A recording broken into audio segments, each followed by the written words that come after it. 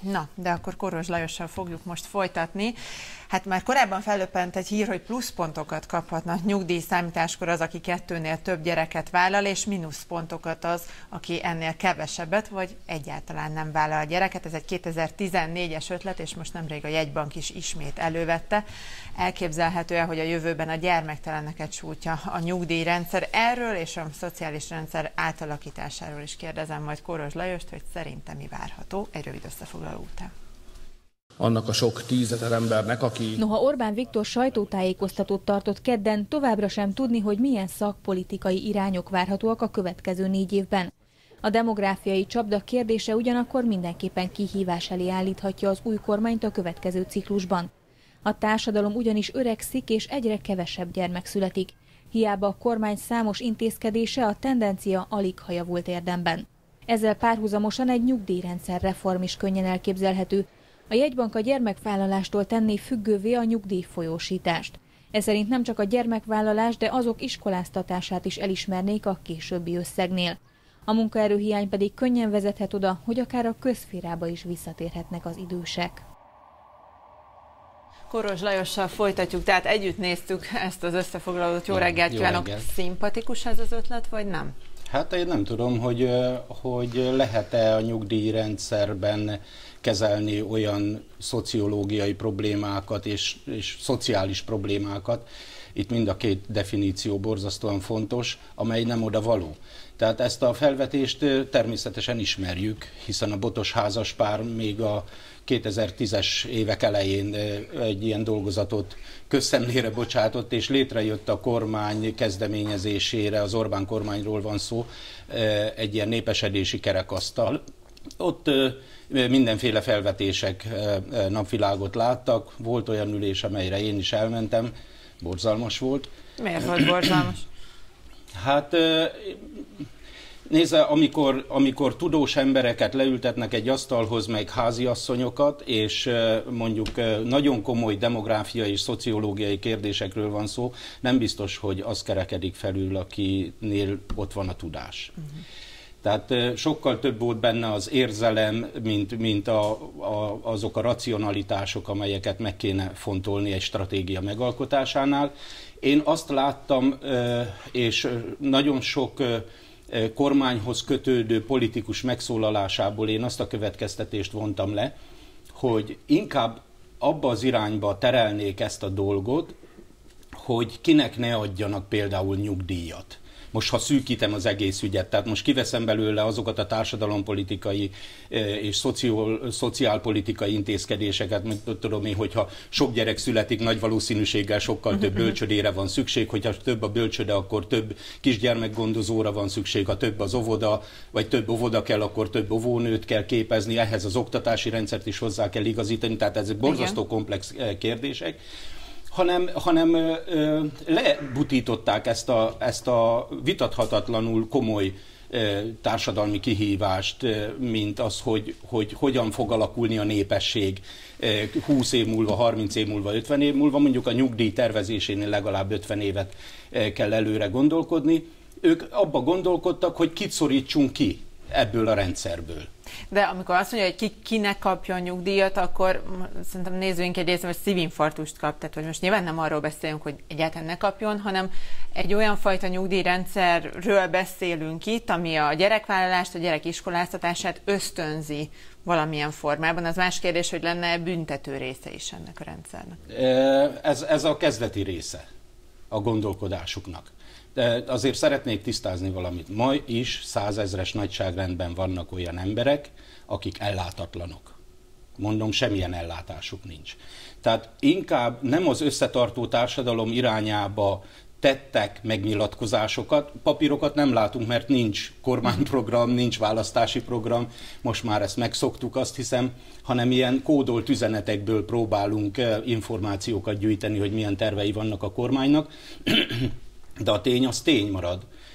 Néhány dolgot le kéne szögezni. Ma minden gyermek minden megszülető gyermek, hatodik gyermek külföldön születik. Ez néhány év múlva minden ötödik gyereket fogja jelenteni. Nézze a választások után azok a internetes portálok, amelyek külföldi munkavégzésre szerveznek munkaerőt, három-négyszeres sére nőtt egy-két nap alatt a, a forgalmuk.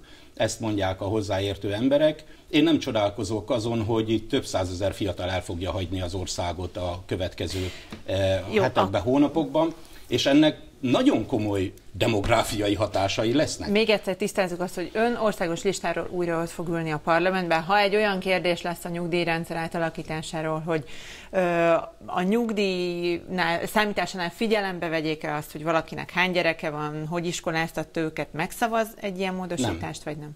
Nem, ez, ezeket az ügyeket nem a nyugdíjrendszerben kell kezelni.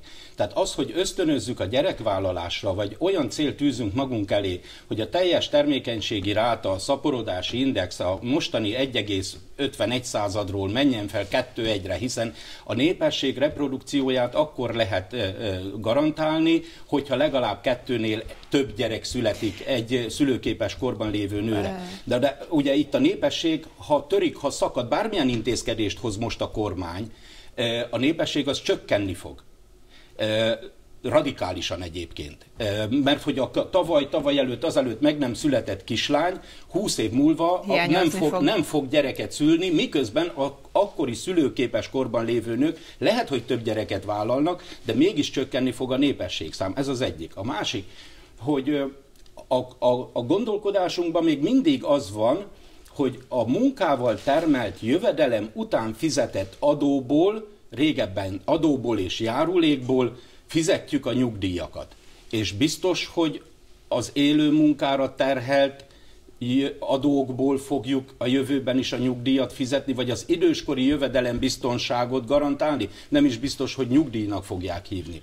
Tehát én azt látom, hogy a munkaerőpiac borzasztóan át fog alakulni itt a következő években, nem csak Magyarországon, egész Európában, sokkal, má, sokkal inkább máshová kéne a hangsúlyokat tenni, és ebből olyan következtetéseket és stratégiákat levonni, amelyek erre az adekvát felvetésre, hogy hogy lesz több gyermek Magyarországon, hogy lesz stabilabb munkahely, hogy lesznek olyan munkavállalói jogok, amelyek itt tartják a munkaerőt, és még sorol, lesz-e olyan oktatási szakképzési rendszerünk, amely a modern technológiákat is be tudja fogadni az országba, akkor lesz olyan jövedelem, amelyikből lehet biztosítani majd Ugye az időskori jövedelem azok a hírek is, hogy mondjuk a gyedemelése, az egyszerű anyasági támogatás emelése, vagy a bölcsödei óvodai ellátás bővítése ö, szolgálhatná azt, hogy több gyerek szülessen. Ezekkel azért nyilván egyetértene. Hát de ez a, ez a következtetés, a munkaerőpiacsal kéne az egészet kezdeni.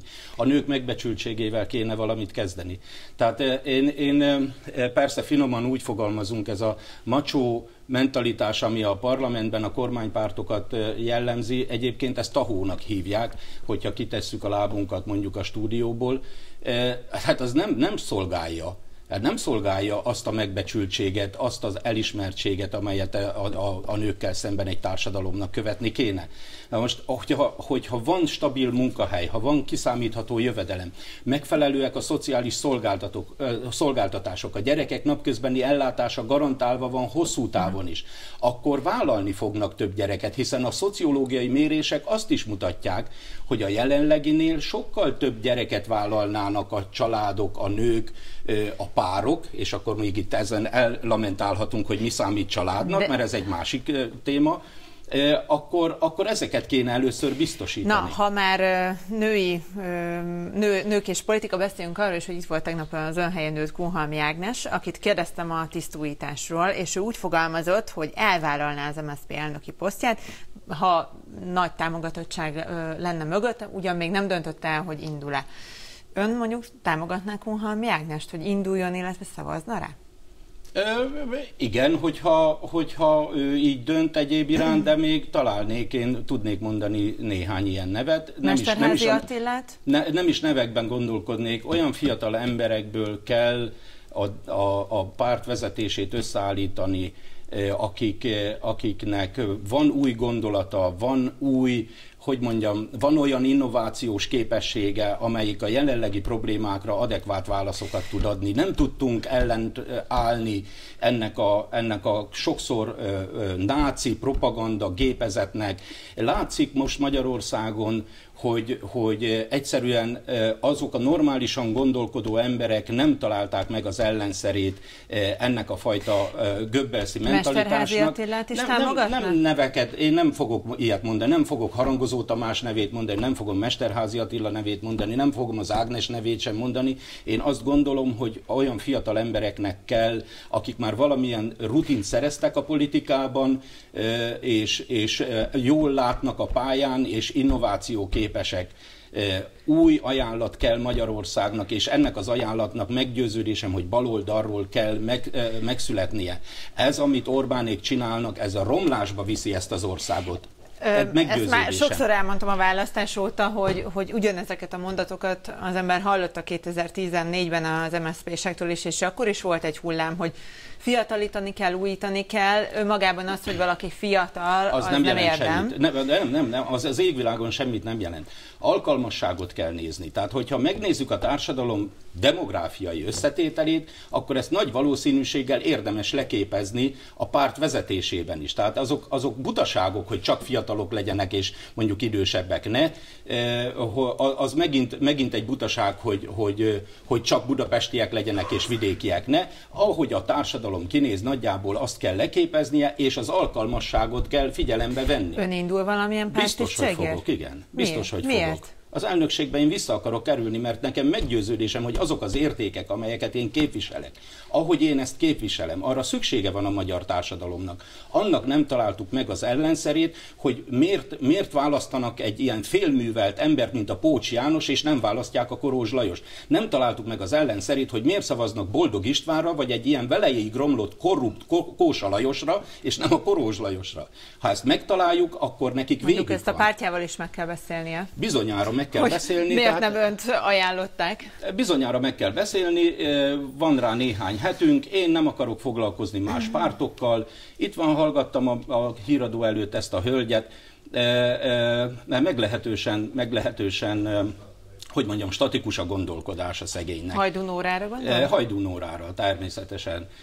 Fel lehet nekünk róni, hogy minden idők legrosszabb eredményét értük el, de kérem szépen, hány testet szakítottak ki a szocialista párból és a baloldalból? Mondjuk az egy, együtt nem sokat?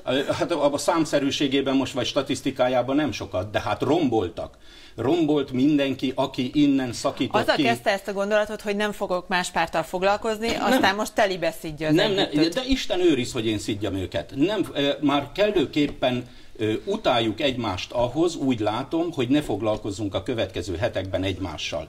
És utána meglátjuk, hogy hogyan fogjuk integrálni ezt az egész baloldalt. De, de meg, innen lesz de fogjuk, integrálni. Fogjuk, meg fogjuk Már csinálni, meg fogjuk csinálni, egy. és le fogjuk győzni Orbán Viktor. Köszönöm, hogy itt volt. Én is köszönöm.